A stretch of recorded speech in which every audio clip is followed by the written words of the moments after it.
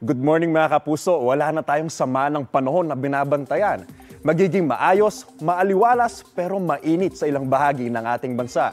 Ayon sa pag-asa, easterlies ang umiral ngayon. Sa Southern Luzon, Visayas at Mindanao, tanging Batanes at Babuyan Islands naman ang apektado ng hanging amihan habang mga local thunderstorm mga asahan sa iba pang bahagi ng ating bansa. Ganyan din ang weather bukas pero sa darating na linggo, higit na magiging maulap na may mataas na tsansa ng ulan ang ilang panig ng Ilocos Region, Cordillera at Cagayan Valley ayon po yan sa pag-asa. Suwak na suwak din ang weather ngayong weekend dito sa Metro Manila para makapaglaba at mamasyal. Huwag lang kalimutan magdala ng payong para sa panangga sa matinding init o kaya ibiglaang ulan o thunderstorm. Ako po, si Andrew Pertiera. Para sa GMA Integrated News Weather Center, maasahan ano man ang panahon. Know the weather before you go.